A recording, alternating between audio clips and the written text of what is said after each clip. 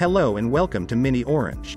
In this video, we are going to show you how to set up single sign-on into WordPress using AWS Cognito as OAuth provider. Go to your WordPress dashboard and then plugin section. Here, you will need to install the Mini Orange OAuth single sign-on plugin. You can find the installation steps in the setup guide, linked at the video description. Now, go to the plugin, and you will see an Add New Application button, click on it. Select the AWS Cognito application from the list, and click on it. Here, you will see the callback URL.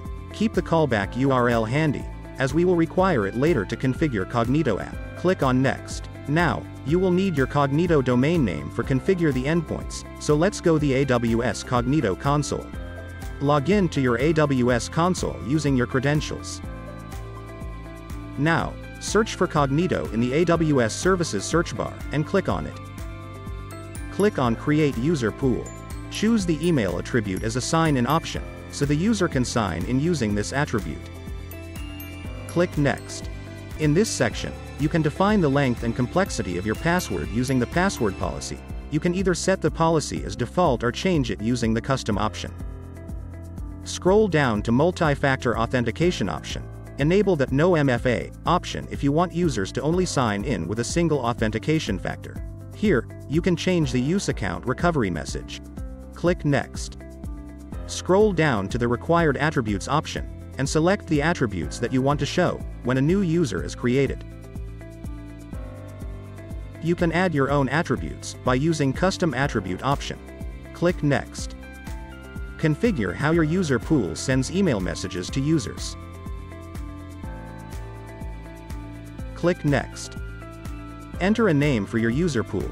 Also under Hosted Authentication pages, check Use the Cognito Hosted UI. Now, under the Domain section choose the domain type as Use a Cognito domain. Enter a domain name for your Cognito app. Select app type as Public Client. Enter a name for your app under App Client option. Enable the Generate a Client Secret option to generate the client secret. Now, here you need to enter the redirect callback URL. For that, go to MiniOrange OAuth SSO plugin, copy the callback URL and paste it here. Under the Advanced App Client Settings tab, select Authentication Flow as Allow User SRP Auth. Scroll down and select Scopes as Email, Phone, Profile and OpenID. Click Next. Now, review your selection of requirements and click Create User Pool to confirm the selection and create a user pool. Your user pool has been created successfully. Now search your user pool from the list, and click on it. Go to the Users tab, and click Create User. Fill the require user details, and click on Create User button. The user has been successfully created. Now, go to App Integration section and copy the complete domain name.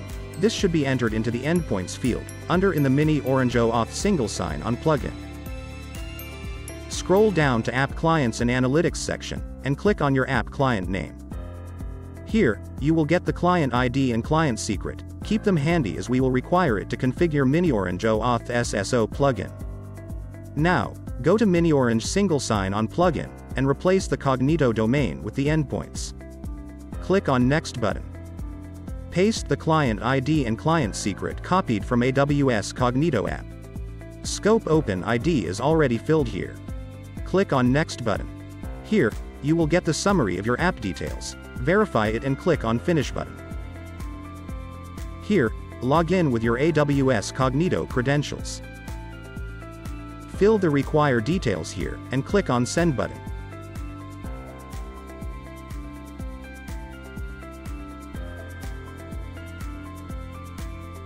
After successful test configuration, you will see the user attributes table. Now, click on Finish button for attribute mapping. Go to Attribute or Role Mapping section. Select the unique user attribute from Cognito to create SSO users in WordPress, and click on Save. Go to WordPress login page, and you will see an AWS Cognito SSO login button. Click on it. Log in with your AWS Cognito credentials. You have successfully logged into the WordPress site using AWS Cognito credentials. If you are looking for additional functionalities, like user profile mapping, role mapping, then you can reach out to us on info at xecurify.com.